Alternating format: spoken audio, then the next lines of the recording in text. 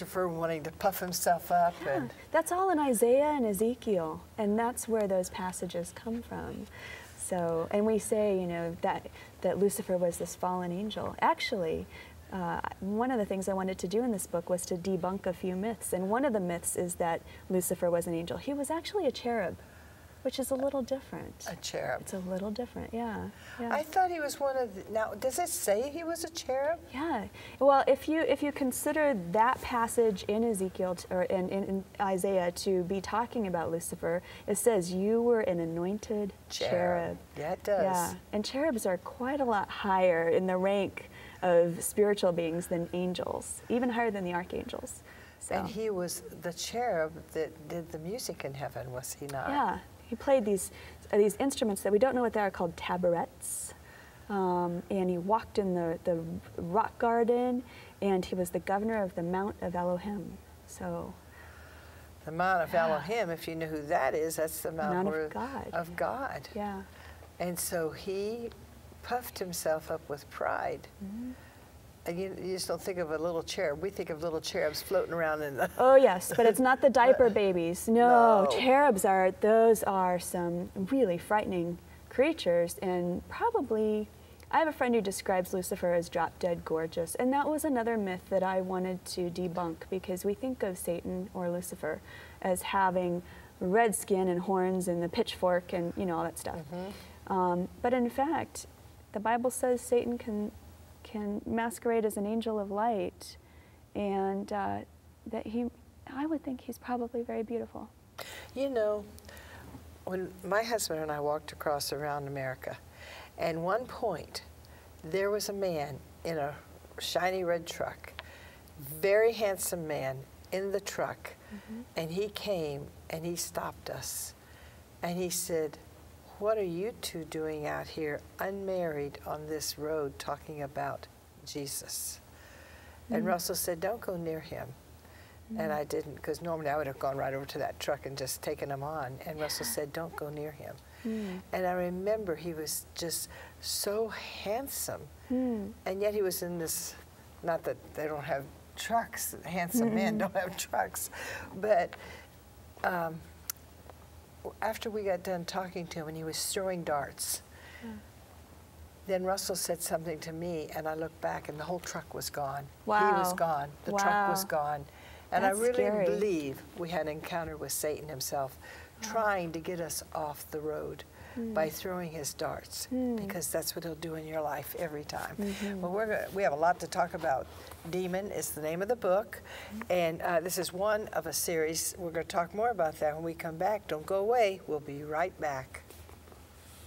Author Tosca Lee has woven a compelling novel from the heights of heaven to the depths of damnation. Witness the creation of the world to the birth, death, and resurrection of Christ like you've never heard it before. From the mouth of a fallen angel, Demon, a memoir, tells the story of Lucian, an angel of the Most High, turned demon doomed from hell as he recounts the stories we all know. From a perspective we couldn't imagine, this extraordinary novel will shed new insight into God's love love for mankind and give you a new appreciation for the salvation available to us through Christ Jesus. Demon, a Memoir, is available for $14.99 by calling 888-725-8033 or go to buythebook.tv and request offer number 228. That's 888-725-8033 or log on to buythebook.tv and request offer number 228. Buy the book today. If you would like to receive your copy of today's edition of Buy the Book, please be sure to call 888 725 8033 and ask for today's offer number on the screen. DVDs are $14.95 plus shipping and handling and come with four total episodes per DVD. Order your DVD of Buy the Book today and call 888 725 8033.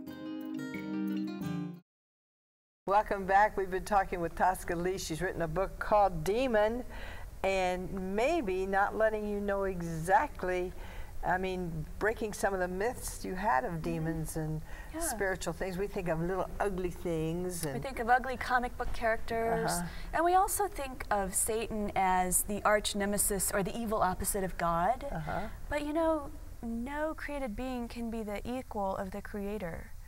He's not the equal opposite of God. That's So another myth. Yeah. They had so they had, um, yeah, and there are some churches that think he was his brother, which are completely. oh wow, that's wrong. new. uh, well, I'll tell you off the air. but they have, they've had a battle in heaven. All of a sudden, he prides up and he takes a third of the angels, and there happens to be a court in heaven that does what to him? that that banishes him.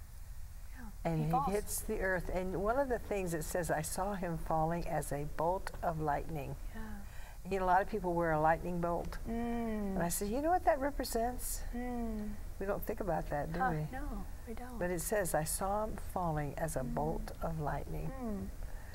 And um, he was called the Morning Star. the morning star. Yeah. I wonder why. The morning star.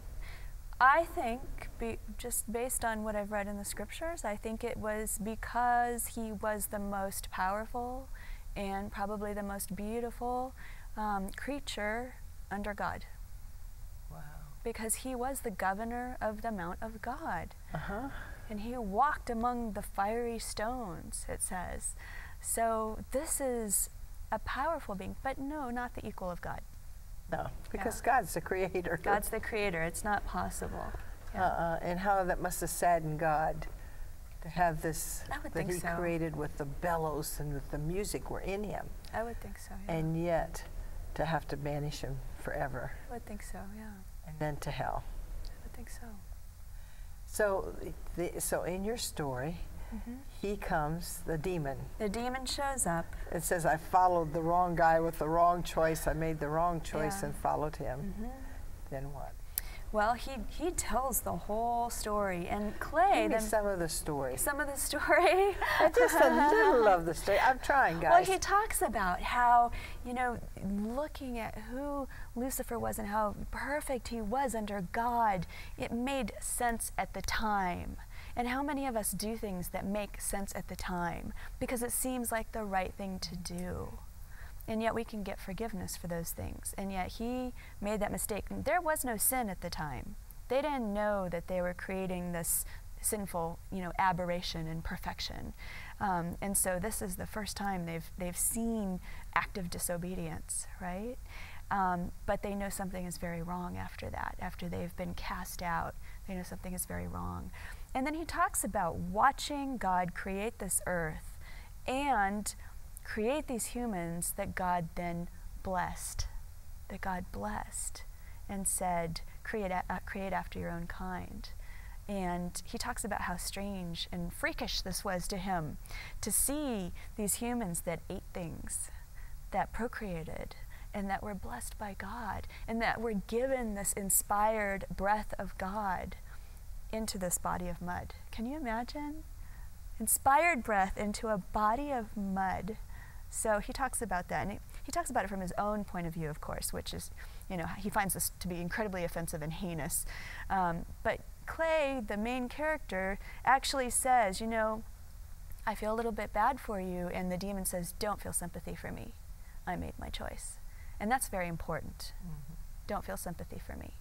So, And that's like with us. We make our choices every day, either mm-hmm. to accept Him mm-hmm. or to reject Him. Mm-hmm. And then one day we'll be right where that demon was. It's really a great path to God in this book. This, the whole gospel is in this book.